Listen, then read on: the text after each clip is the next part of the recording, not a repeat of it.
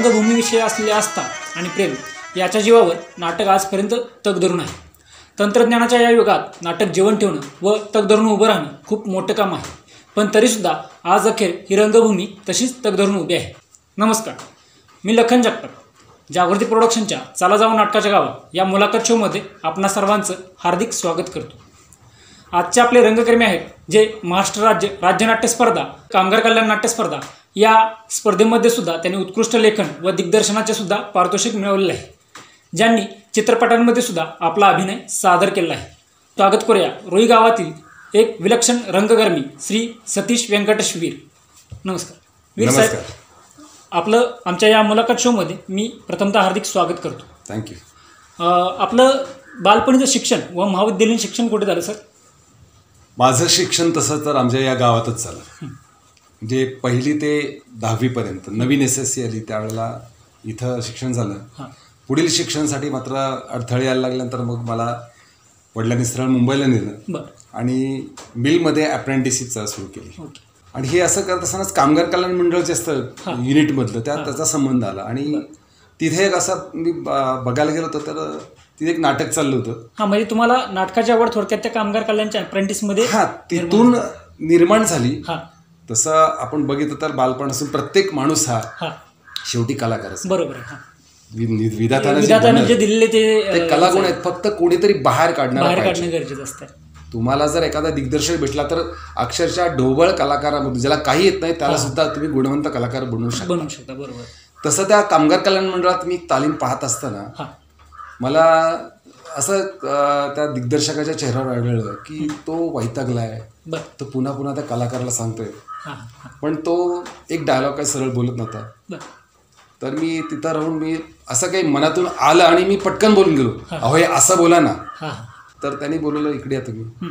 कोण आहात तुम्ही? तर म्हटलं मी अप्रेंटिस आहे. आणि. म्हटलं आल तालिमीला बघायला आलो म्हणून आलो.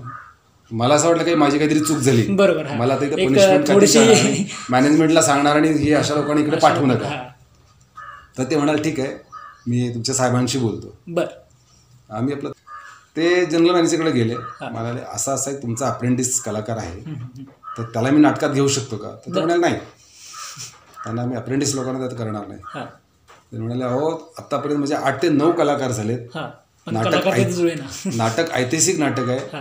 एक महिन्यानंतर आम्ही आपण कामगार कल्याण मंडळातर्फे आम्ही कॅनव्हास शो केला आहे ओके. आणि कलाकार कुठले तयार होत नाही तर त्याचा जर मला आवाज बरा वाटला हां. बघूयात. तर ठीक आहे बघा पण अडचणी पुढे येतील. हां. कामगारच मला विरोध करतील. विरोध करतील. आणि तीन चार हजार कामगारातून तुम्ही नवीन आलेल्या कामगार कामगाराला संधी कशी दिली त्याच्यावरून? आणि मग त्या जे बाळ साळवी म्हणून जे ग्रहस्थ होते बरं.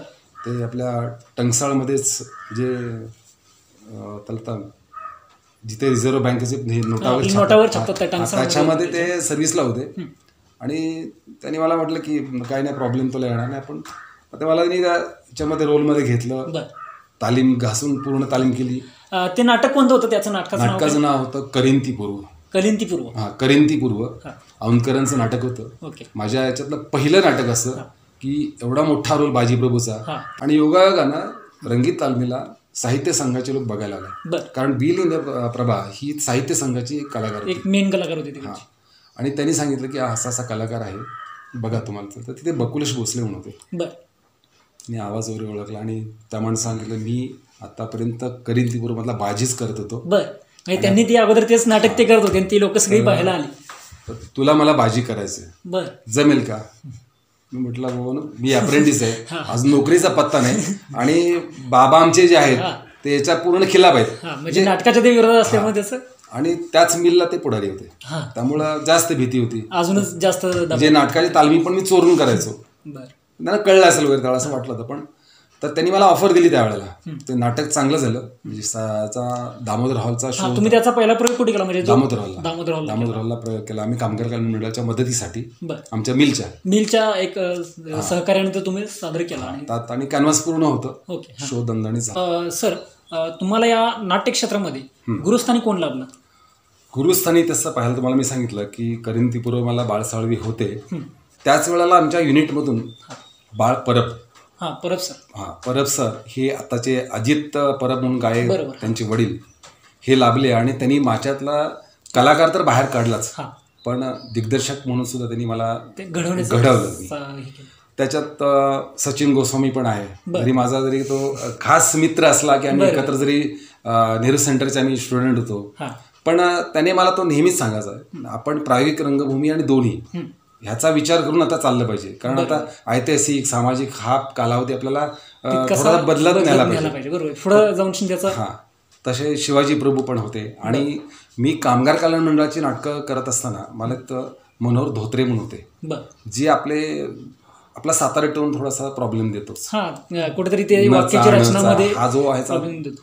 तर त्यासाठी मला त्यांनी माझ्या शब्द डिक्शनवर एवढं मला वर्क करायला पाहिजे ते. की तू एक तर मूळ सातारी वाटत नाही पण कुठेतरी एखाद्या शब्दामुळे असं होतं ना तो की लगेच तू. इकडे तुझा नंतर म्हणा की आमच्या कोकणस्थ माणसासारखा तुझा सगळं आहे. अडकून राहणार तो. तर त्यामुळं त्यांचं एक ते मार्गदर्शन मिळालं. म्हणजे तसं पदोपदी तर वेगवेगळ्या पदोपदी गुरु भेटतच गेलेले आहेत. भरपूर ठिकाणी गुरु लागले तुम्हाला. सर आपला मुंबईतील नाटकातील प्रवास कसा सुरू झाला? मी शिरोडकर हायस्कूल केम नाईट ज्युनियर कॉलेजला मी जॉईन झालो. आणि तिथंही परत तसंच झालं की थोडंसं आपलं व्यक्तिमत्व बघून आम्हाला त्या एकांकिका स्पर्धेमध्ये घेतलं घेण्यात आलं. म्हणजे कॉलेजचे सुद्धा तुम्ही एकांकिका स्पर्धेमध्ये भाग आणि मग त्या वर्षी तर काय आम्हाला कॉलेजने एवढं सांगितलं की तुम्ही फेल जरी झाला अकरावीला तरी तुम्हाला आम्ही पहिल्या क्रमांकाने पास करणार कारण दोन तीन एकांकिका आमच्या खूप गाजल्या. आनंद आश्रमात संभाजी होता आणि त्यावेळेला आम्ही एक घाशीराम ड्रायव्हर म्हणून नाटक होतं ते पण आम्ही त्यावेळेला करत होतो कॉलेजतर्फे ओके. आणि मग कंपनीला हे कळलं. मग हा जर स्पर्धेत काम करतो मी इकडे इकडे- का करू नये? हा. मग त्या दरम्यान आम्हाला त्यांनी त्या एक एकांकिका दिली आणून. त्यावेळेला एकांकिका आम्ही वाटतं ॲशिस बर्निंग एकांकिका आणली. प्रदीप राणेची एकांकिका होती. प्रायोगिक एकांकिका आणि आमचे जुने जे दिग्दर्शक होते हा. ते आपल्या सरळ मार्गाने बसवायला लागली होती. हा. काय व्हायचं एक सीन आत्ताचा हा. आणि एक सीन त्याच्या भूतकाळातला. भूतकाळात म्हणजे वर्तमान आणि भूतकाळाची ती साधणारा ते एकांकिका होते. एकांकिका होती. आणि ते आम्हाला प्रेझेंटेशनला सरळ मार्गदर्शन न मिळाल्यामुळं चुकीच्या पद्धतीने आम्ही बसवत चाललो होतो. पण जेव्हा मग आम्ही त्या लेखकाने विचारलं असं असं आहे तर तो म्हणाला मुळात मी चुकीची चूक केली की एकांकिका ही निवडून. तर तुम्हाला मी माझा माणूस पाठवतो. त्यावेळेला त्यांनी राजन बने म्हणून माझ्याकडे पाठवले. राजन बनेने आम्हाला पूर्ण दिवसभर पाठांतर चौक असल्यामुळे त्यांनी सीन बसवून घेतले. आणि बऱ्या प्रकारे आमचे ते एकांकिका सादर झाले. मग मात्र आपण कानाला काढायला लागला आणि कंपनीने. सांगितलं की तुम्ही आम्हाला स्पर्धेमध्ये टाकताय पण तसा स्पर्धेला योग्य दिग्दर्शक मिळणं गरजेचं पडतं. आणि मग त्या अनुषंगानं मग कंपनीच्या पण स्पर्धा आंतरगिरणी स्पर्धा सुरुवात त्यातमध्ये आम्हाला पहिल्यांदा भाग घेता आला या साईड बाय साईड आम्ही कॉलेजमध्ये काम करत होतो. तिकडं आम्हाला दिग्दर्शक चांगले होते. आम्ही तेच तुम्हाला खरं विचारणार होतं. म्हणजे तुम्ही कॉलेजच्या सुद्धा एकांकिका स्पर्धामध्ये काम करत होता आणि इकडे गिरणी कामगारांच्या सुद्धा स्पर्धामध्ये काम करत. हा अनुभव कसा होता दोन्हीचा? हा अनुभव की त्याच्यामध्ये गिरणी कामगारांच्या मध्ये काय व्हायचं की कामगार हे आपल्या जुन्या पठडीतले कामगार. कलाकार. बरोबर. ते त्यांना फक्त कसं सामाजिक ऐतिहासिक जोर देऊन बोलणं आणि आवाज एवढाच फक्त. पण तेच इकडं कॉलेजला ज्या वेळेला आम्हाला ते शिकवायला यायचे त्यात असं आम्हाला कळायचं की खरोखर व्हॉइस कंट्रोल गरजेचं आहे त्याच्यामध्ये. प्रेक्षकांना जर जिंकायचं असेल तर प्रेक्षकांशी बोलता बोलता प्रेक्षकांना कळलं सुद्धा नाही पाहिजे की आपण आवाज किती लो आणलाय. बरोबर तर ते आपलं खरं तिथला विजय समजायचा. बरोबर. आणि मिलच्या मा- सानिध्यात असताना कलाकारांचं असं व्हायचं की तो एवढा जोरात बोलणार आणि अचानक तो जर विसरला तर प्राउंटरचा आवाज. आवाज डायरेक्ट लक्ष तर ते जे रेंज बिघडत जायची ना तर ते हळूहळू मग आम्ही थोडं बदलत चाललो. आम्हाला कंपनीनं आंतरगिरणीनंतर मिल ओनर्स मिल ओनर्स नंतर राज्यनाट्य स्पर्धेमध्ये राज्यनाट्य स्पर्धेमध्ये परत कामगार कल्याण मंडळ राज्यनाट्य स्पर्धा. हे होत असताना साथ साथ आम्हाला मग या प्रवासामध्ये उत्स्फूर्त एकांकिका स्पर्धा आम्हाला बघायची एक, संधी मिळाली. संधी मिळाली किंवा आवड निर्माण झाली. खरोखरच तुम्ही आता एक छान मुद्दा मांडलात म्हणजे मी प्रेक्षकांना सुद्धा आवर्जून सांगू इच्छितो. ग्रामीण नाटक आणि शहरी नाटक याच्यामधील जो दुवा आणि फरक जो आहे तो आता आपल्याला या सरांच्या माध्यमातून समजला. ग्रामीण कलाकार हा त्याच्या आवाजावरती जास्त काम करतो म्हणजे खूपच मोठ्याने लाऊड Loud बोलणं. आणि शहरी नाटकातील जे व्हेरिएशन आहे तुम्ही जर का तुमच्या आवाजावरती काम केलं तर तुम्हाला तितक्याच लेवलनं स्टेज सुद्धा उपलब्ध होऊ शकतं. खरोखरच सर तुम्ही खूप छान मुद्दा मांडला आणि खूप छान प्रकारे ते समजून सुद्धा सांगितलं. आपण थोडंसं पुढं सरकूया आता. तुम्ही या ज्या स्पर्धा करत होता याच्यामध्ये तुम्ही आत्ताच उल्लेख केला राज्यनाट्य स्पर्धा सुद्धा तुम्ही भरपूर केल्या. हो. तर तो अनुभव कसा होता राज्यनाट्य स्पर्धांचा? राज्यनाट्य स्पर्धेमध्ये अनुभव सांगायचं म्हटलं तर मला आजही अंगावर शहार येतात. कारण पहिलंच नाटक मला त्यावेळेला ते असं थँक्यू मिस्टर ग्लाड ओके हे नाटक मी करत होतो. आणि त्या नाटकामध्ये आपल्या अंगी एकतर सगळे गिरणी कामगार. बरोबर. त्यामुळं जे याचा जो शारीरिक जी बांधा पाहिजे हवा तसा ते सगळं जो प्रकार आहे ना तो ह्यातनं यायचा नाही. बरोबर. हे सगळे सोशल प्रमाण किंवा ऐतिहासिक प्रमाण ऐतिहासिक प्रमाण आपलं एक चालणार. पण तिथे त्या डिरेक्टरला नाही ग्लॅड असाच चाला पाहिजे ग्लॅड असाच बोलला पाहिजे. हे मग जे व्हायचं ना तर मग कधी कधी मी एकदा तर त्या सीनला मी रडलो. म्हटलं नाही मला जमणार हे तुम्ही घ्या. तर ते म्हणले तसं तू एवढा नाविमेद होऊ नकोस. तुझ्याकडे ते आहे मला काढायचे ते. कारण मला त्यावेळेला व्हायचं काय माहिती का? की माझ्यासमोर एक नेव्हीचा ऑफिसर बसलेला असायचा. आणि त्याने ते ग्लॅडचं इतकं म्हणजे जीवन अनुभवलं होतं. कारण ग्लॅड हा ग्लॅड कसा बनलाय त्याच्यामध्ये.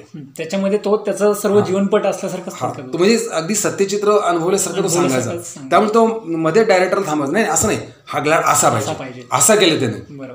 मग शेवटी मग मी ठरवलं आणि त्यांना म्हटलं की आपण एक सेपरेट मिटिंग घेऊया. तालमीमध्ये तुम्ही हे करायचं नाही.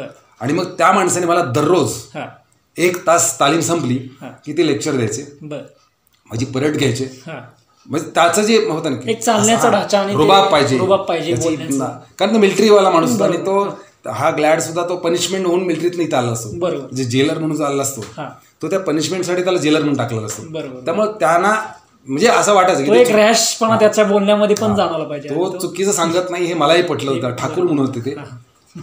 तर त्यामुळे मला काय झालं की हे नाटक इतकं परफेक्ट होत गेलं की ह्या नाटकाचं दिग्दर्शनाचं आमच्या दिग्दर्शकाला मिळालंच. बर. पण बेस्ट ऍक्टर म्हणून मला त्यावेळेला ते पहिलं प्राइज स्टेटचं मिळालं. अरे बापरे बाप खूपच छान. म्हणजे तुम्ही अं, पहिल्यांदा जे राज्यनाट्य स्पर्धेमध्ये जे नाटक सादर केलं आणि त्याचं पहिलेच तुम्ही पारितोषिक सुद्धा मिळवलं. हा. आणि ते मिळवणं म्हणजे खरोखरच एक वाखण्यासारखी गोष्ट. आणि त्यात आणखी एक वैशिष्ट्य त्या होतं की मला आणखी माझी मनात असं उर्मी का दाटून आली की ज्यावेळी ते परि अं, बक्षीस वितरण होतं बर.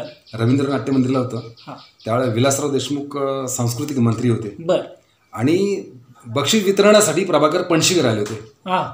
आणि जसं ते माझं नाव त्यांनी उच्चारलं थँक्यू मिस्टर ग्लॅड या नाटकासाठी सतीश वीर यांना तर ते म्हणाले की आता मी निवृत्त झालो. म्हणजे म्हणाले की आतापर्यंत मला ग्लॅड असा कोण भेटला नव्हता की ज्याने त्याला प्राईज मिळवलंय. आज तुला प्राईज मिळालं याचं तर तू मला नाट्य संपादाला जाऊन भेट. म्हणजे त्या अगदी त्या चार वर्षाच्या कालावधीमध्ये मी अं, नाट्य संपादासारख्या मोठ्या थिएटरला जाऊन जॉईन होणं पणशीकरासारख्या माणसाने मला बोलवणं. बोलवणं ते काम आणि मग त्या विनायक दामले म्हणून तिथे होते. त्यांना सांगितलं ह्या माणसाला आपल्या संस्थेत जॉईन करा. मागे पुढे आपण रोल देऊ न देऊ. हा पुढचा भाग. पण आपल्या संस्थेमध्ये घ्या हा माणूस. खरोखरच तुम्ही एक आत्ताच मराठी रंगभूमीवर एक गाजलेलं नाव सुप्रसिद्ध नाव असं घेतलं प्रभाकर पंशीकर आणि त्या माणसानं तुम्हाला त्यांच्या संस्थेमध्ये काम करायला या. आणि ते एखाद्या ग्रामीण कलाकाराला जर का तशी संधी मिळणं खरोखरच खूपच मोठी गोष्ट आहे. आणि तो तुमचा एक गौरवच म्हणावा लागेल एक जीवनातील. आणि अविस्मरणीय क्षण सुद्धा तो असणारच आहे. कारण बक्षीस सुद्धा त्यांच्याच. हस्ते घेणं म्हणजे खरोखरच ते एक अविस्मरणीय क्षण असेल. आणि त्या नाटका ज्या नाटकाबद्दल तुम्हाला हे बक्षीस मिळालं त्या नाटकातील खरोखरच एखादा डायलॉग प्रेक्षकांसाठी? हो. त्या नाटकात वीरभूषणला तो ग्लॅड म्हणतो. बर. ए युग कैदी नंबर आठ सौ बयालीस. तुला सला फेडरल कोर्टानं फाशीची शिक्षा दिली. फाशी. नाव I I will hang you आजपर्यंत एकशे बारा टांगले. तू एकशे तेरावा. अशा प्रकारचा तो डायलॉग नाही खरोखरच म्हणजे आता तुमच्या ते बोलण्यातूनच व्हेरिएशन एक जाणवलं की बाबा तो त्यावेळेस तुम्ही डायलॉग कसा घेतला असेल? कारण की आज वयाच्या उतरत्या काळात सुद्धा तुम्ही ते जर का तितक्याच ताकदीनं जर का डायलॉग सादर केला असेल तर तुमच्या उमेदीच्या काळात आणि पहिलेच नाटक राज्यनाट्य स्पर्धेमध्ये जे तुम्ही केलं त्याचा डायलॉग खरोखरच तो वाखाण्यासारखा असणार आहे. तुम्ही या दोन्ही माध्यमातून ज्यावेळेस पुढे सरकत होता त्यावेळेस काही दिग्गज कलाकारांबरोबर सुद्धा काम करण्याचा योग आला का? हो योगायोग आला आणि ते माझं नशीब म्हणायचं. फक्त मी नोकरीसाठी सतत त्यांची कास धरली नाही. पण त्याच्यामध्ये मला मोठमोठे जे कलाकार होते हा. अगदी जयश्री शेजवाडकर ज्या मला त्यावेळेला आईच्या पेक्षा म्हणजे आजी समान आजी होत्या. त्यांच्याबरोबर मी सरनोबत रोल केला. सरनोबत नेताजी पालकरचा. हा. नाटकाच्या आदल्या दिवसापर्यंत त्यांचा मेकअप नसलेला चेहरा हा. ताकद न लावलेले डायलॉग. कारण त्या वयानुसार त्या होत्या. त्या त्या लेवलनं त्यांचं बोलणं. तोपर्यंत मी म्हणायचं कसं काय व्हायचं आपल्या नाटकाचं या बाईंच्या बरोबर आणि आपल्याला काय या डायरेक्टरनी कंपनीने आणून दिलं ते. पण ज्या वेळेला खरोखर मी मंचावर उभा राहिलो आणि त्यांनी कारण ते संगीत नाटक होतं. बरोबर. आणि त्यांना तेवढ्यासाठीच घेतलं होतं की गाणी त्यांनी गायचीत म्हणून. बर. तर ते त्यांनी जो आलाप लावला ना आजही तो आलाप मला असं आठवलं की अंगावर शहारे येत आहेत एक सांगायचं की ह्या दिग्गज कलाकारामुळे भरपूर शिकाय मिळालं. जसं की आता विजय चव्हाण. हे आमच्या गिरणी हा गिरणी कामगारांच्या मच्छिंद्र कांबळी. आज जयंत घाटे. त्यानंतर कुलदीप पवार. बर. त्यानंतर मोहन जोशी. सगळ्यात आनंद केव्हा झाला? मोहन जोशी आणि आपले अशोक सराफ मामा. बर. यांच्याबरोबर धूम टू धमाल हा. ह्या नाटकात पिक्चरमध्ये. मला काम करायला संधी मिळाली. बापरे. खरोखरच म्हणजे खूप मोठी गोष्ट आहे ही. तो अनुभव सर कसा होता? अनुभव त्यांचा मामांच्या वरच इतका चांगला होता. बाकीच्या कलाकारांचं मी सांगत नाही. पण अशोक मामाला ज्या वेळेला रोलवर किंवा कॅमेरा- पुढे काम नसेल त्यावेळी ते कुणालाही घ्यायचे. इकडे बाजूला. आणि पत्ते खेळत बसायला व्हायचे बर नाही तर चौघे भेटले तर मेंढीकूट खेळूया आपण. हा. आणि त्यामुळे आम्हाला असं वाटतं की एवढा मोठा कलाकार आपण लहानपणापासून त्यांचे पिक्चर पाहत आलो त्यांच्याबरोबर आज आपण कलाच करतोय असं नाही तर आज आपल्याला इथे पत्ते खेळायला सुद्धा बसले खेळायला आपल्या सुद्धा पुढे. मिळतंय, हा. त्या माणसांना कुठला व्यसन वगैरे नाही आणि त्यामुळे आम्हाला ते बोलता बोलता असं पण सांगायचं माणसानं आनंदित जगायचं. बरोबर. तुझा रोल नाही म्हणून गप्प बसून कोपऱ्यात कुठे नर्वस होऊ नकोस. बरोबर. शूटिंग दुसरंच चाललंय त्यावेळेला तू काहीतरी कर. मग त्या दरम्यान मला ना कविता लिहायचा पण खूप छंद झाला होता. बर. मग आम्ही असं कविता सादर पण करायचो. मी आकाशवाणीला कविता सादर करायचो. कथा सादर करायचो. बर. आकाशवाणी दूरदर्शनला पण. तिथे कामगार सभा कामगार विश्व. हा माझा प्रवास त्याच्याबरोबर. आकाशवाणी आणि कथा म्हणजे कविता आणि कथा दोन्ही कविता कथा नाटक. तिथे पण मी कशात काय फाटक्यात पाय हे नाटक आकाशवाणीला पण केलं बरं. होतं स्वतः डिग्रेटवर केलेलं. हो. तुम्ही आता एक उल्लेख केला. तुम्ही कथा आणि कविता सुद्धा त्या काळात म्हणजे लिहित गेला हो. तर तुम्ही पहिली कोणती अशी कथा लिहिली किंवा कविता लिहिली? पहिली मी नांदी लिहिली. बर. थोडक्यात आठवते तुम्हाला ही नांदी जर का हो आठवते ना. विश्वेश्वर तू विघ्न विधाता सरस्वती जय गणराता नटेश्वरा आणि भैरवनाथा वंदन तुझला भारत माता. इथे घडविले रामायण तू त्रैलोक्याच्या नाता. इथे घडविले रामायण तू त्रैलोक्याच्या नाता. मुरलीधरा सांगून गेला इथेच भगवद्गीता. धरती पोटी जन्म घेऊनी वनवन फिरली सीता. गंगा यमुना ह्याही धावल्या प्रसन्न होण्या माता. नटेश्वरानं भैरवनाथा चौदा भाषक इथे नांदती लोकशाहीची सत्ता जनगणमन अधिनायक जय हे भारत भाग्य विधाता नटेश्वरानं भैरवनाथा वंदन तुझला भारत माता। तुम्ही नाटकं ही काही लिहिली का त्या पद्धतीनं? मी एकांकिका लिहिल्या पण नाटकं लिहिताना मी बऱ्याचदा काय व्हायचं की मला वेळ तेवढा मेंटेन होईल की नाही याची भीती वाटायची म्हणून नाटकाला मी हात घातला नाही. पण चांगल्या चांगल्या अगदी विनायक पाटील यांचा आतून कीर्तन बाहेरून तमाशा ह्या नाटकाचं सुद्धा मी मला हव्या त्या पद्धती मी रूपांतर करून घेतलं. ओके. आणि ते माणसादी माणूस हो या नावानं स्टेटला मी सादर केलं राज्यनाट्य स्पर्धेत. आणि त्या नाटकालाही मी जवळजवळ चार ते पाच बक्षिसा मी घेतलेली बेस्ट ऍक्टर तर घेतलं होतं त्यावेळेला. दिग्दर्शनाचं मिळालं आणि अं, उत्तेजनार्थ काही कलाकारांना मिळालं. थोडक्यात मी जरा असं राज्यनाट्य स्पर्धेबद्दल तुमच्याकडून जाणून घेऊ इच्छितो. की राज्यनाट्य स्पर्धा ज्या सादर केल्या जायच्या तुम्ही गिरणी कामगारमधून तुमची एखादी टीम यायची अशी संपूर्ण महाराष्ट्रातून संघ बऱ्यापैकी किती सामील व्हायचे त्या काळात? टीम त्यावेळेला बघा ना प्राथमिक स्पर्धेला दोन दोन महिने नाटकं चालायची. बर. म्हणजे कमीत कमी एका केंद्रावर तीस ते पस्तीस. नाटकं चालू अशी आता मला महाराष्ट्रातली केंद्र आठवत नाहीत. तरी पण मला वाटते साडेतीनशेच्या दरम्यान असावीत असं वाटते केंद्र. केंद्र नाही नाही नाटकं. नाटकं हा. आणि ह्या नाटकातून अंतिमला अगदी तीस एक नाटकं तरी यायची. बर. त्या नाटकाचा असा अंतिमला आल्यानंतर जो आपल्याला आनंद असतो. आणि आनंद. कारण माझी स्वतःची तीन नाटकं तरी अंतिम स्पर्धेपर्यंत गेलेली आहेत आणि अंतिमला पण प्राईज मिळालेलं आहे. अरे बापरे. खरोखरच एक खूप मोठी गोष्ट आहे. म्हणजे एक राज्यनाट्य स्पर्धेमध्ये आपली नाटकं टिकवणं आणि ती शेवटपर्यंत स्पर्धेपर्यंत जाणं खरोखरच एक वाखाणण्यासारखी गोष्ट आहे. आणि हौशी नाट्य कलाकाराला याच्या व्यतिरिक्त दुसरं काही म्हणजे गरजेचं नसतं. त्याचा आनंदच त्याच्यामध्ये असतो की बाबा मी स्पर्धेमध्ये शेवटपर्यंत टिकून राहिलो आणि ही खरोखरच खूप मोठी गोष्ट आहे. आपण थोडंसं पुढं सरकूया. ग्रामीण नाटकातील जे कलाकार आहेत ते या राज्यनाट्य स्पर्धा किंवा महाराष्ट्र राज्य कामगार नाट्य कल्याण स्पर्धा या स्पर्धांमध्ये टिकून राहत नाही. यासाठी काय कारण असेल? यासाठी कारण कसं आहे की आपल्याला इथं जो संपर्क असतो. बरोबर संपर्क यासाठी असतो की आता मी मोठा दिग्दर्शक झालो आणि मग मी दुसऱ्या कोणाचं ऐकू नये ही मनातला न्यूनगंड नसला पाहिजे. बरोबर. मग तुम्हाला मी माझं एक तीच सांगून ठेवतो की मला ज्यावेळेला मी दिग्दर्शक म्हणून काम करायला लागलो ना त्या दरम्यान मला नेहरू सेंटर बर. हे त्यावेळेला लाभलं. एक वर्षाचा इन्सेंटिव्ह ॲक्टरशिप हा जो कोर्स होता कोर्स केला तो आम्हाला आमच्या कॉर्पोरेशननं तिथं सिलेक्ट केल्यानंतर आम्हाला पाठवलं होतं तिथे. तर साधारण बेचाळीस म्हणजे मगाशी मी सांगितलं सचिन गोस्वामी सुद्धा आमच्या त्याच हा त्याच पिरियडमधले तर ते जे प्रशिक्षण आहे ना असं प्रशिक्षण गावाला मिळत नाही. किंवा इथला कलाकार जर समजा तो सिलेक्ट झाला तर तिथं राहून त्याला खर्च परवडणार नाही. बरोबर. तर तशी जर हौशी वर इथं लोकांना किंवा ज्या कलाकारांना शिकवण्यासाठी काही जरी अशी प्रशिक्षण शाळा. किंवा असं काही नाट्य याच्यातून आयोजन झालं असं मागे मी ऐकलं होतं की इथे सातारला सुद्धा एकांकिका स्पर्धा होतात होत. वन ॲक्ट प्ले होतात. ते त्यातमध्ये लोकांनी उत्स्फूर्तपणे झोकून दिलं पाहिजे. तर तो हौशी कलाकार तिथपर्यंत पोहोचेल. जर तो आत्ता इथे येणार तालीम करणार जाणार आणि डायरेक्ट प्रयोगाला येणार. मधल्या काळात तो किती विचार करतोय विचार कसा करतो. विचार करतोय हा. त्याचा गणित तो स्वतःला शोधत नाही आपण काय करतोय आणि ते प्रेझेंटेशन करण्यासाठी त्याची जी कार्यशाळा आहे ना ही फार गरजेची आहे. थोडक्यात प्रशिक्षणाची खरोखरच गरज आहे. ग्रामीण कलाकार जेवढा जर का प्रशिक्षण घेतलं तर तो तितके उत्स्फूर्तपणे आपली कला सादर करू शकतो. बरोबर. सर आपण आत्ताच उल्लेख केला म्हणजे प्रशिक प्रशिक्षणाची गरज ग्रामीण नाट्य कलाकाराला खरोखरच एक प्रशिक्षणाची गरज आहे.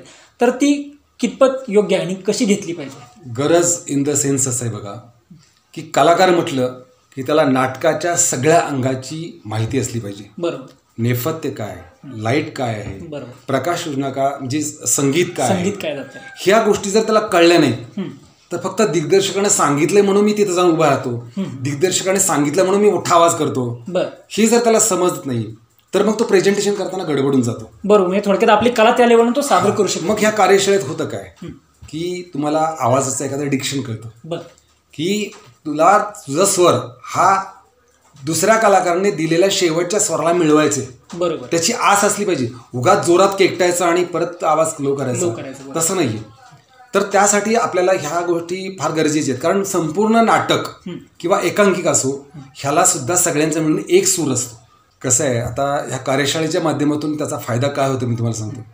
माझ्यातला दिग्दर्शक केव्हा तयार होईल तर मला नाटकाचं पूर्ण लेखकाचं स्वरूप कळेल त्यावेळेला. बरोबर.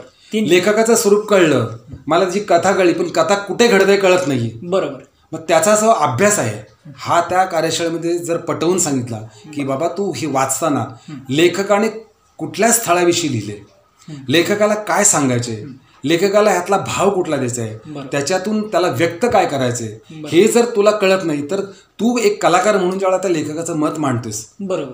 भूमिका करतो म्हणजे काय? तो लेखकाने जे काही उभं केलं असेल ते तू साकारतोय ते साकारतोय. क ह्या अनुषंगाने तुम्हाला मी एक सांगतो की ज्यावेळेला मी ही कार्यशाळा केली. त्या कार्यशाळेमध्ये मला स्वतःला एक मी एकांकिका अशी लिहिली होती त्या डेथ पॉईंट म्हणून. डेथ पॉईंट विषय हाच होता. की कार्यशाळा आणि त्यातून मला मिळालं ज्ञान. बर. तर त्या डेथ पॉईंटमध्ये मी डोंगराचा किनारा डोंगराच्या किनाऱ्याला संगीत वापरलं होतं वाऱ्याचं. बर. म्हणजे तो एक नॅचरली त्याचा व्ह्यू ठेवला होता. लेखक हा एकटाच असतो. बर. पात्र होती तिच्या मनातली. बर. आणि हे सगळं करत असताना एक एक पात्र ह्या वाऱ्याच्या वादळाच्या कारण ते ढासळत जातं. त्या कड्याला इथं डेथ पॉईंट म्हणून नाव दिलं जातं. बर. आता हे झालं माझं लेखकाचं दिग्दर्शकाचं कलाकारचं बरोबर पण ही जर माझी एकांगी मी दुसऱ्या कोणाला वाचा दिली ना तर त्याला कळणार नव्हतं. बरोबर. ही जर अशा एखाद्या कार्यशाळेमध्ये एखादा विषय आपण घेतला किंवा एक एकांकिका आहे या विषयावर आपण एक दिग्दर्शक एक संगीतकार एक नेपथ्यकार ह्याचं आपण चर्चासत्र ठेवायचं आणि या सगळ्या कलाकारांना समजून सांगायचं. तुम्हाला नाटक डिरेक्ट करायची गरज पडणार नाही. दहा कलाकार काम करत असतील त्यांना प्रत्येक ज्या सर्व क्षेत्राचं जर का नॉलेज मिळालं नॉलेज सर्व क्षेत्राच्या माणसानं जर त्यातलं जर माहिती सांगितली. माहिती सांगितली तर बऱ्यापैकी म्हणजे त्याचं नेपथ्य करणार नेपथ्य माझं नेपथ्य असं आहे. माझं संगीत असं आहे. लेखकाचा भाव असा आहे. तर त्या कार्यशाळेमध्ये त्या तो स्वतःहूनच तयार होतो ना. स्वतःहून कलाकार त्या लेवलनं ताकदीनं घडला जातो. खरोखरच म्हणजे ही एक चांगली गोष्ट आणि वाखण्यासारखी सुद्धा गोष्ट आहे. म्हणजे मी ग्रामीण कलाकारांना सांगू इच्छितो शहरामध्ये ज्या कार्यशाळा घेतल्या जातात त्या कार्यशाळा याच पद्धतीने घेतल्या जातात. एखादी लेखकाची एकांकिका घेऊन शनी त्याच्याबरोबर संपूर्ण ज्ञान असणारे दिग्गज कलाकार समोर घेऊन त्याचं नॉलेज आपणासमोर सादर करतात. आणि ही गरज आहे आजच्या ग्रामीण कलाकारांना घेण्याची. कारण की ग्रामीण कलाकार आपलं नाटक तर सादर करतोच परंतु ते नाटक सादर करत असताना त्याचा भाव कुठेतरी कमी पडतो. बरोबर. आणि तो भाव या कार्यशाळेच्या माध्यमातूच फक्त पुढे पुढे येऊ शकतो त्यासाठी ही कार्यशाळा खूपच गरजेची खूप गरजेचे आहे आणि त्यामुळे यांचा आत्मविश्वास पण वाढेल. बरोबर. वीर साहेब आपण नाटकामध्ये काम करत असताना दिग्दर्शन सुद्धा केलेलं आहे. हो. तर तो अनुभव कसा होता दिग्दर्शनाचा? खरं तर मी तुम्हाला सांगतो की दिग्दर्शक म्हणून त्या दिग्दर्शकानं कधी वागू नये. एक नाटकाचा सखोल अभ्यास केलेला व्यक्ती म्हणून त्यानं सर्व पात्रांना नीट समजून सांगावं. आणि आपली मतं नुसती त्या पात्रावर लागू सुद्धा नाही त्याच्याकडे काय मिळतंय हे बघायला हवं. बरोबर. एखाद्याचा आवाज पोचत नसेल. आणि उगाच त्याला आवाज काढण्यासाठी हे करणं तेही बरोबर नाही. पण असंही नाही किंवा तो कलाकार स्वतःच्या मनानं कसंही करून ते खपून घेणं हा दिग्दर्शकानं एक गोष्ट त्यात अनुभवल्यानंतर ती आपल्याला कलाकारांना कशी प्रेझेंट करता येईल? बरोबर. किंवा कलाकारांच्याकडून ते नाटकाचं पूर्ण सूत्र कसं एक सार कसा काढून घेता येईल तो? कारण त्यात कसं आहे तंत्र आणि मंत्र. मंत्र बरोबर. दोन्हीही साधली पाहिजेत. आणि त्यासाठी कलाकारांना त्या सगळ्या तंत्रांची नीट जाणीव करून जाणीव दिली घेता आली पाहिजे आणि जो तुम्ही बोलता डायलॉग तो मंत्र आहे. बरोबर. तो मंत्र त्या तंत्राच्या लेवलनच चालला तो पाहिजे. दोन्ही तारतम्य झालंच ह्या दिग्दर्शकाची जबाबदारी आहे. आणि दिग्दर्शकाचं एक असं राहिलं पाहिजे की नाटक सुरुवात केल्यापासून शेवटपर्यंत त्याने त्या कलाकारांच्या बरोबर कुठेही त्याला नर्वस न करता हे सतत स्फूर्ती देऊन त्याला आपली कला सादर करण्यापर्यंत त्याचं मध्ये मध्ये एखादा कलाकार तो बरोबर करत नाही आणि त्याला सतत टॉर्चर तर त्याचा मूड हा राहत नाही. बरोबर.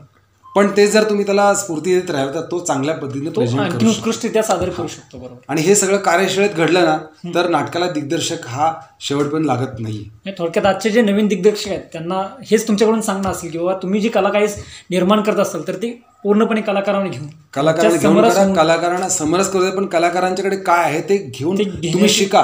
कारण शिक्षण कधीच संपत नाही. बरोबर. आज कितीही मोठा दिग्दर्शक असला तरी तो पहिल्यांदा विचार करेल मला याच्यातून काय शिकायला मिळते बरोबर. म्हणजे प्रथमतः विद्यार्थी व्हा हा. आणि मग तुम्ही डायरेक्शनचा विचार. बरोबर. सर तुम्ही मुंबईला असताना चित्रपटांमध्ये सुद्धा काम करण्याचा काही योग आला योग आला. त्यावेळेला असं झालं टी व्ही सिरियल पहिल्यांदा आले मला म्हणजे टीव्ही सिरियलच्या माध्यमातून तुम्ही सुरुवात केली. आणि टी व्ही सिरियलच्या बरोबर मला जी ऐतिहासिक सिरियल पहिली मिळाली माझ्या पूर्वी जे मी माझा बायोडाटा पाठवला होता. त्याच्यानंतर छत्रपती शिवाजी महाराज सिरियल. यज्ञ कम्युनिकेशननं ती केली होती. आणि त्यात मी लखुजी जाधवचा रोल करत होतो. त्याला सुनील शेंडे स्मिता जयकर त्यानंतर जयवंत पाटेकर. हा म्हणजे ह्या अशी- लोकांबरोबर हा, त्यांचं या लोकांच्या बरोबर ती सिरियल आमची तेरा भागापर्यंत झाली. त्यात बंगाली जो अली आदिल शाह होता तो रमेश रॉय म्हणून होता. तो बंगाली नट होता त्यावेळेला पण पण अडचण अशी त्यावेळेला झाली की राजकीय लोकांनी ही मराठी सिरियल काही भाग हिंदीत होतो ते अमान्य केलं आणि ती बंद पाडली. म्हणजे थोडक्यात सिरियल थांबवली गेली. थांबली गेली. ठीक आहे त्यानंतर आम्हाला संसार ते चालायचं. ही सिरियल मिळाली. त्याच्यामध्ये आम्हाला प्रमोद पवार बरं. त्यानंतर अं, मी म्हटलं ना, दिलीप कोल्हटकर. हम्म. ज्या योगानं परत अं, यांच्याशी संपर्क आला पंचेकरांशी पंचीकर तर दिलीप सुद्धा. कोल्हटकरांनी पण मला त्यावेळी एक ऑफर दिली बरं. की तू नटसम्राट करशील का? बर. म्हणजे इतकं खूप मोठं नाटक आहे म्हणजे नटसम्राट हे तर नाटक मला असं वाटलं की पणशीकराने ते बोललं ग्लॅड विषयी. ग्लॅड विषयी. आज नटसम्राट नटसम्राट सुद्धा विषयी. नाट्य संपदाचं आपण बघूया जाऊन. शिवाजी मंदिरला गेलो त्यांची जेथे गावताला भाले होता तिथं तालीम पाहिली. त्यांनी त्या तालमीच्या वेळेला मला जे लेक्चर दिलं. आतापर्यंत जेवढे नटसम्राट गेले सगळ्यांना हार्ट अटॅक आलेत. तुझं हृदय तेवढा मजबूत आहे का? आणि खरोखर त्यावेळेला असं वाटलं की सगळ्या नाटक येतं आपल्याला पण येणार का? आणि अं, लागूनही सुद्धा त्या दरम्यान नाटक सोडलं होतं. तर ह्या ज्या घटनातून त्या आपण असं ठरवलं नको. आपल्याला कारण दुसरं सांगायचं तर मी म्हटलं मला माझा जॉब पहिला महत्त्वाचा आहे. जे येतील ते रोल बी करणार. बरोबर. तेही मला जसे जमेल दौरा नाही. बरोबर. त्यामुळे मग मी काय करायचो छोट्या सिरियल मिळाल्या. त्यावेळेला मग क- कोल्हटकरांनी मला दिलीप कोल्हटकरांनी ते संसारात हे चालायचं नंतर मग एक अं, याची ॲड फिल्म दिली.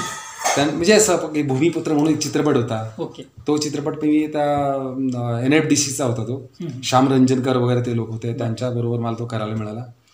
अं, मग परत थोडक्यात म्हणजे तुमचा तो टीव्ही सिरियलचा प्रवास हा सिरियल नाटक सिरियल नाटक. कॅमेराशी म्हणजे नातं जुळलं गेलं. संलग्नच झालं. हा पण होत होतं कसं माहितीये का?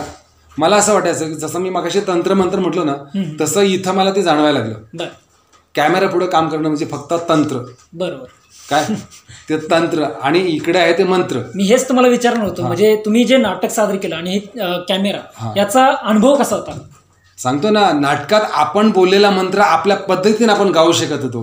पण सिरियलमध्ये त्यांच्या तंत्रानं. जेवढ्याच तेवढं बोलायचं यंत्रवत हालचाली करायच्या परत नंतर आपलं काम संपलं की साईडला बसून राहायचं. मग ते एक जे रेंगाळवण होतं ना त्यातच कुठेतरी मग ह्या कविता लिहिणं वगैरे ते सुचायचं. हा. माझ्या कविता मी कुठे प्रकाशितच बसलो नाही पण माझा छंद म्हणून मी कविता कधी एखादा मी नाटक डिरेक्शन करत असेल ना तर त्या नाटकाला मी कविता या सीनला ही कविता सूट होईल. मग अशा तुम्ही कविता सुद्धा लिहिलेली आहे हा असे लिहिलं आता मध्यंतरीच मी आमच्या मुलाने एक हे केलं होतं. गड किल्ल्यावर एक एपिसोड चालू केले होते वेब सिरीज वेब सिरीजचे तर त्यावेळेला तो मला म्हणलं की अशी आपल्याला कविता पाहिजे. तर आम्ही सेकंड एपिसोडला एक कवि ती काव्य बनवलं अ, कोणती बनवली ती काव्य? ते असं होतं. शिवछत्रपती हे स्वामी रयतेचे सेवक आम्ही. गडकिल्ले जपण्यासाठी उभारली मोही मही उभारली मोही मही सर आत्ताच तुम्ही सांगितलं म्हणजे तुमचा मुलगा वेब सिरीज करतोय. म्हणजे तुमचा मुलगा सुद्धा या नाट्य क्षेत्राकडे आहे काय? काय झालं की थोडंसं आपण म्हणतो ना रक्तात असतंच. आणि आता तो रिटायर होऊन आलाय. त्यामुळं त्यांना बाहेर कुठेही जॉब न करता तो म्हणाला मी घरचं काम आणि ह्या ज्या कलाक्षेत्रावर मी थोडा प्रकाश टाकू इच्छितो. मग त्याने सुरुवातीला एक शब्दगंध म्हणून एक चॅनल बनवलं. याच्यामध्ये आम्ही लहान मुलांसाठी मी स्वतः लिहिलेलं आहे ते बच्चेगिरी म्हणून आम्ही एक चा- त्याच्यामध्ये एक भाग केला होता अकरा तेरा भागांचा केलं होतं. म्हणजे त्याच- मालिका एक सुरू केली. मालिका बच्चेगिरी त्याच्यामध्ये त्याने दिग्दर्शन त्याचं काम होतं लिखाण काम माझं होतं आणि आम्ही. सगळे मिळून सादर करायचं म्हणजे थोडक्यात तुमचे कौटुंबिकच कौटुंबिकच त्यात मध्ये होते. आणि बरेचसे गावातले पण मुलं घेतली होती. ज्यासाठी तुम्ही संपूर्ण तुमचं आयुष्य वेचलं म्हणजे पस्तीस वर्ष वयाची तुम्ही या क्षेत्रासाठी घालवली. आणि तेच आयुष्य तुम्हाला पुढे जगायला सुद्धा मिळतंय. आणि ही खरोखरच एक मिळते म्हणजे मला फॅमिली सांगते तुम्ही असंच जगा. असंच जगा. म्हणजे माझा मुलगा मुली ह्या सांगतात किंवा मिसेस पण म्हणते. तुम्हाला ज्याची आवड आहे ती जोपासना अजून करा. आणि त्याचा जर तुम्हाला देता येत असेल तर इतरांनाही तुम्ही देण्यासाठी प्रयत्न करा. म्हणून आम्ही गावातल्या मुलांना सुद्धा मी अजून सुद्धा इथं सांगतो तुम्ही एकत्र या. बरोबर. वास्तविक मी दिग्दर्शनाचे बाहेर जिथं जिथं अमेचर ग्रुपला पण जात होतो ना एक पई कधी घेतलेली नाही. वाटखर्ची दिली असेल त्यांनी तेवढीच. कारण आपल्याला पगार मिळतो आणि आपण कुटुंब चालवून बरोबर. आपल्याला हे ॲडिशनल आहे. माझं म्हणणं आहे, कला क्षेत्र जोपायचं असेल ना तर माणसाला जर मिळकत कुठून येत असेल ना त्याने कलेसाठी मानधनाची वाट पाहत बसून. बरोबर. त्यानं आपली कला प्रेझेंट करत बसला किंवा त्याने प्रेझेंट कलेचं दान करत बसला तर ते इतरांनाही फायदेशीर होईल आणि हा वारसा कायम राहील. म्हणूनच मुलांना ही माझं हेच सांगणं आहे की तुम्ही सुद्धा ह्यात झोकून दिले ना तर ते तुम्ही शेवटाला असंच न्या. शेवटपर्यंत ते पोहोचवा. आणि खरोखर तुम्ही आता खूपच मोठा उल्लेख केला म्हणजे आपण आपली कला ही दान करत राहिलं पाहिजे. कला तुम्हाला निश्चितच तुमचं त्या कलेला तुम्ही जेवढं काही द्याल ती तुम्हाला तेवढंच रिटर्न देत राहणार. आणि त्याचा जो आनंद आहे जो सहवास आहे तो खूप मोठा आहे. आज तुमची सर्व फॅमिली सुद्धा या तुमच्या सर्व गोष्टीमध्ये सहभागी आहे. आज तुम्ही एका चित्रपटात सुद्धा लेखन केलेलं आहे. त्या चित्रपटाला सुद्धा या आमच्या जागृती प्रोडक्शनतर्फे किंवा या आपल्या चला जाऊ नाटकाच्या गावा या मुलाखत शोच्या माध्यमातून मी भरपूर शुभेच्छा देऊ इच्छितो. आपल्या या मुलाखतच्या माध्यमातून तुम्ही या प्रेक्षकांना काय सांगा खरं तर तुम्हाला सांगायचं प्रेक्षकांना मला असं वाटतंय चला जाऊ नाटकाच्या गावा. या जागृती प्रोडक्शननं हा जो उपक्रम केला आहे तो मला असं वाटायला लागलं की मी गेल्या पस्तीस वर्षात कुठेही गेलो नाही. एक दूरदर्शन आणि आकाशवाणीला मुलाखत दिलेली होती. पण त्याची आज परत मला उजळणी झाली. आणि मी कोण आहे हे माझी मला त्याने आठवण करून दिली मला जाणीव करून दिली. असं वास्तविक जर गावोगाव जर त्यांनी तुम्ही जर प्रयत्न केलेत तर असंख्य आपल्या साताऱ्यातले जेवढे कलाकार आहेत ते आम्ही एकमेकाला ओळखू शकत नाही पण तुमच्या माध्यमातून ह्या सर्वांना एकत्रित आणण्याचं जर तुम्ही प्रयत्न केलं तर त्यासाठी आम्ही जरूर हजर राहू. अनुषंगानं फक्त मला एवढंच म्हणायचं आहे की तुमची ही जी जागृती आहे ही अशीच अखंड चालू ठेवा. आमच्यासारख्यांना ही खूप फायदेशीर ठरेल आणि त्याचा जो अनुभव या नवोदित कलाकारांना तो कामाला येईल आणि तुमचं हे जे कार्य आहे हे अगदी चांगल्या रीतीनं भरभाटे जाऊ ही प्रार्थना करून मी प्रेक्षकांना सुद्धा विनंती करू इच्छितो आपण दरवेळेस असेच नवनवीन कलाकार तुमच्यासमोर घेऊन येत असतो. तुम्ही आमच्या चॅनलला सबस्क्राईब करा लाईक करा शेअर करा व पाहायला विसरू नका आपला हा चला जाऊ नाटकाच्या गावा मुलाखत शो धन्यवाद धन्यवाद.